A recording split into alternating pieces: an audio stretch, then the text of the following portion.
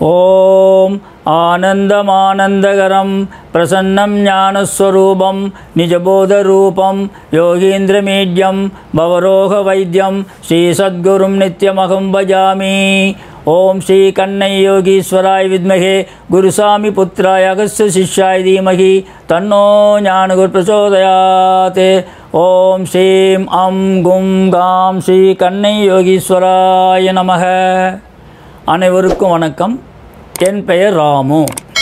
நீ எப்படி பிறந்தாய்? இது வந்து சாமிஜி வந்து ஒரு ஐம்பது வருஷத்துக்கு முன்னாடி இந்த பாடத்தை நடத்தினார். அது புத்தகத்துலேயும் வந்திருக்குது.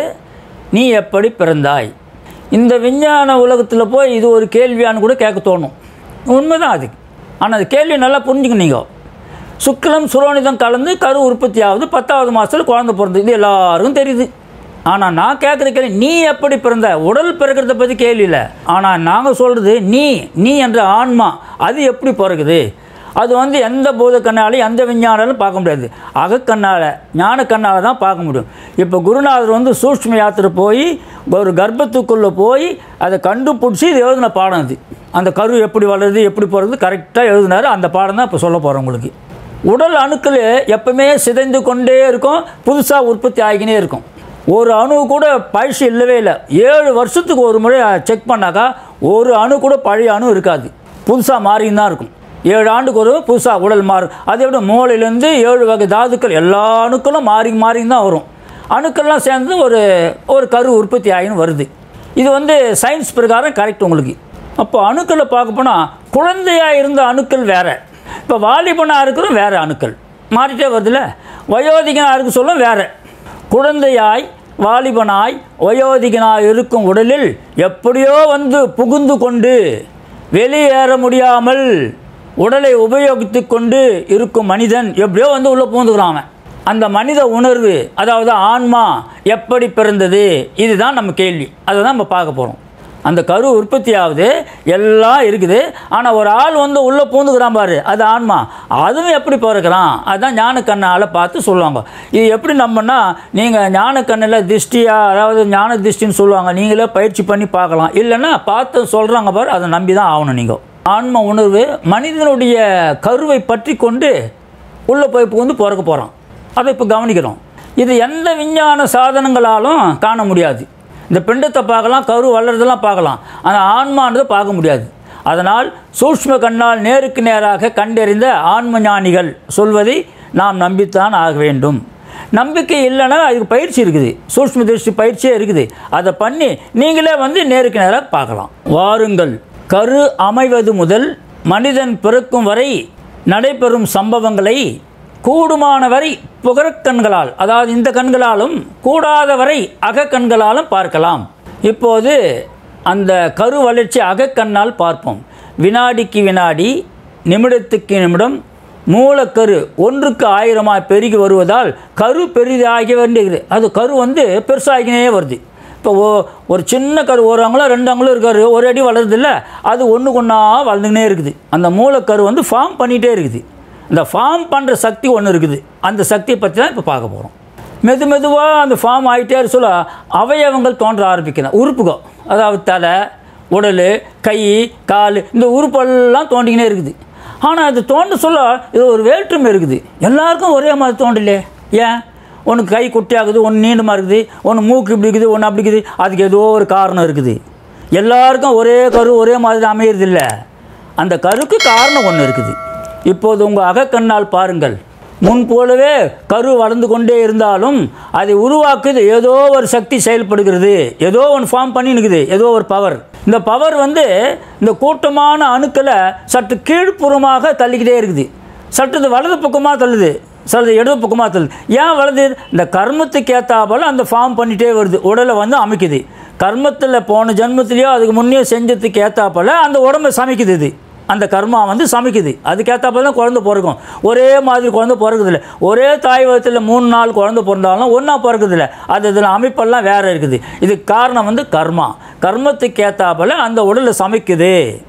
ஒரே மாதிரியான கரு உருவாகி வளரும்போது ஒரு சக்தி அதை இப்படியும் அப்படியும் அழுத்தி ஒதுக்கி பாவமாக அதாவது பலவிதமாக அந்த ஃபார்ம் பண்ணிகிட்டே இருக்குது. எந்த பக்கம் எப்படி எப்படி பண்ணோ அது கரெக்டாக பண்ணுது.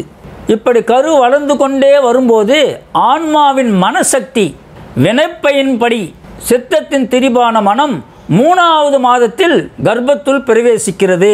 நல்லா கவனிக்க நீங்கள் மூணாவது மாதத்தில் தான் அந்த மனம் வந்து உள்ளே போகிறது அந்த மனம் தான் எல்லாத்தையும் நடத்தினுக்குது அதனுடைய சம்ஸ்காரத்துக்கு தக கருவை உருவாக்குது. அந்த மைண்டு தான் இதை ஃபார்ம் பண்ணினுக்குது. அதனால்தான் கர்ம சம்ஸ்காரத்துக்கு ஏற்றபடி முகங்கள் உடல் உறுப்புகள் மாறுபடுகின்றன. வாழ்க்கை வாழ்வதற்கு ஆதாரமான மனம்தான் வாழ்க்கைக்கு தகுந்தவாறு கருவை உருவாக்குகிறது. அடுத்ததாக இந்த மனம் வந்து இந்த கருவை உற்பத்தியாக ஃபார்ம் பண்ணிச்சு. அப்போ உடல் வந்து ஃபார்ம் ஆகிட்டே வருது வளர்ந்துனே வருது. அப்போ அந்த உடலில் வந்து குடியேறி வாழ போகிறான் பாரு ஒருத்தன். அதாவது ஆன்மா.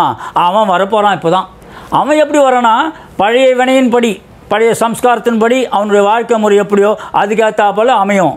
அந்த கரு உருவாக்க சொல்ல உடல் வளர வளர மனம் அதை கண்காணித்து கொண்டு ஃபார்ம் பண்ணினே சொல்ல அது கவனிச்சுனே இருக்கும்.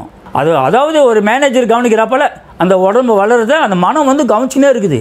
கர்மக்குறிகள் வெளியாகும்படி உடலின் உருவத்தை அந்த சாயலை அந்த ஃபார்மு உடம்பு குடும்பம் எல்லாத்தையும் அது உருவாக்கி நிற்குது கரு வளர்ச்சியில் இந்த காரியம் எட்டாம் மாதம் வரை அதாவது சீமந்தம் நடக்கிற வரை இது காரியம் நடந்து இருக்கும். அஞ்சாம் மாதம் மூணாம் மாதம் வந்துட்டு எட்டாம் மாதம் வரல இந்த ஃபார்ம் பண்ணிகிட்டே இருப்பார். வளருது கை கால் வளருது எல்லாம் இருக்கிறாரு. ஆனால் ஆன்மா வரப்போகிறாரு இனிமேல் தான் வரப்போகிறாரு அந்த ஆன்மா வரத்துக்கு ஏற்றாப்பால் அந்த உடம்பை ரெடி பண்ணி வச்சுது மைண்டு இப்போது எட்டாவது மாதத்தில் அந்த உடலில் நுழைந்து பிறக்க போகும் ஆன்மா எதனாலோ வற்புறுத்தப்பட்டு ஏதோ ஒரு ஃபோர்ஸ் பண்ணி அக்கருவை தாங்கி வளர்க்கும் அந்த தாய் முன்னாடி வந்து நிற்குதான் உள்ளே போல அந்த தாயினுடைய அன்னையினுடைய முன்னாடி வந்து நிற்குதான் அந்த ஆன்மா.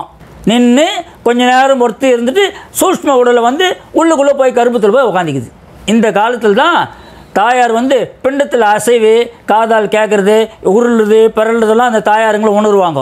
அப்போ தான் ஒரு மனுஷன் வந்து உள்ளே பூந்துக்கணும். இதுவரெல்லாம் பூரில். மூணாவது மாதத்துலேருந்து எட்டாவது மாதம்லாம் வளர்ந்துனே இருக்குது. வளர்ந்து கொண்ட உருவத்தில் ஆன்மா வந்து எட்டாவது மாதத்தில் பிறக்கிறான். அதான் மனுஷனுடைய பிறவி எட்டாம் மாதம்தான் அவன் தான் உள்ளே உள்ளே பூந்துக்கிறான். அப்போ தான் அந்த சப்தம்லாம் கேட்கும். ஏதோ ஒரு ஆள் இருந்துக்குன்னு இப்படி இப்படி உருள்றான்னா அது வந்து தாயாருங்க உணருவாங்க. இப்படி உள்ளே புகுந்த ஆன்மா அந்த பிண்டத்துக்குள்ளே உள்ளே புகுந்த பேர் உருளுது பிறழுது உருவாங்கள்ல அப்போ வந்து உடலில் உறுப்புகள் வந்து துடிப்பு கூட தெரியுமா? பல்ஸுங்கள்லாம் நல்ல துடிப்பு கூட தெரிய வரும். ஏன்னா ஒரு ஆள் உள்ளே வந்துட்டானே? இப்போது உடலை இயக்கும் மனிதன் வந்து விட்டதனால் குரல் வலை எங்க? பல வகை சப்தங்களும் கேட்குமா? அந்த குரல் வலை ஃபார்ம் ஆகிப்போச்சு அதுவும் சவுண்டெல்லாம் கொடுக்கும். க்ளீனாக அந்த துடிப்பு இருக்கும். எல்லாமே கேட்கும். ஆள் வந்துட்டான். இப்போது அந்த தாயார் முன்னாடி அந்த குழந்தைய பற்றி ஏதோ ஒன்று பேசணும்னு வச்சுக்கோ. அந்த குழந்தை அசையாது அப்படியே கவனிக்கும். அந்த அசையுது பாரு இப்படி அப்படி அசையாது. பேசாமல் கவனிக்கும். என்ன பேசுகிறாங்கன்னு சொல்லிட்டு கவனிக்கும். நின்றுட்டு யார் யார் என்ன சொல்கிறாங்களோ அது காட்டும் அந்த எட்டாவது மாதத்தில் உள்ளே போகிற மனுஷன் கவனிக்கிறான். அப்போது தாயாருடைய கர்ப்பத்தில் இருக்க ஆன்மா என்ற கரு அது என்ன பண்ணுதுன்னா எல்லாத்தையும் கவனிக்குது. அப்போ குழந்தை நல்லபடியாக வளரணும்னா தாயார் வந்து நல்லதையே பேசி நல்லதையே பார்த்தா தான் அந்த கரு நல்லதாக வரும். அந்த காலத்தில் கர்ப்பமாக இருக்கிறவங்க வந்து இந்த கதா கால்சம் ராமாயணம் மகாபாரத்துக்கெல்லாம் போய் கேட்பாங்க. ஒரு நல்லது கேட்கட்டும்னு சொல்லி. அப்போ அந்த குழந்தையும் அது கேட்கும். அப்போ குழந்தையினுடைய கருவிலேயே ஒரு நல்லதை நீங்கள் புகுத்திட்டா அந்த குழந்தை வந்து நல்ல சம்ஸ்காரத்தோடு பிறக்கும். பிறப்பு என்றால் உடலில் சேர்தல் என்று பொருள். இறப்பு என்றால் உடலை விட்டு பிரிதல் என்று பொருள். அவ்வளோதான் பொருள்களை பொறுத்தவரை சேருவதும் பிரிவதும் தான் பிறப்பு இறப்பு. ஆன்மா உடலில் சேர்வது பிறப்பாகும். அது உடலை விட்டு பிரிவது இறப்பாகும். ஆக மூணாவது மாதத்தில் ஆன்மாவின் மனம் பிறக்கிறது. எட்டாவது மாதத்தில் மனிதன் பிறக்கிறான். பத்தாவது மாதத்தில் மனிதனை தாங்கிய உடல் மண்ணுலகில் பிறக்கிறது. இதுதான் பிறப்பின் தத்துவமாகும். இத்துடன் இப்பகுதி முடிவடைகிறது. ஆன்மீக துணுக்கு. டாக்டர் பண்டிட்ஜி கண்ணைய யோகி மனிதனின் உடலாக ஆகியிருக்கும் ஒவ்வொரு அணுவும் செல்லும் தனி உணர்வு கொண்ட பிராணியாகும். உடலில் ஒவ்வொரு அணுவுக்கும் அறிவு உண்டு.